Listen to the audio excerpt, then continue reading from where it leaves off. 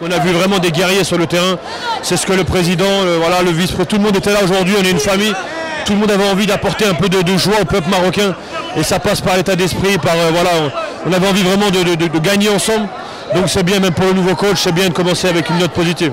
Vous serez présent euh, dans le match retour? On va voir, mais c'est moi c'est secondaire. Le plus important c'est l'équipe. Aujourd'hui on a vu qu'avec des absences, ça a répondu présent, ça a lutté sur tous les ballons. Et c'est comme ça qu'on doit voir le Maroc euh, à tous les matchs, Inch'Allah.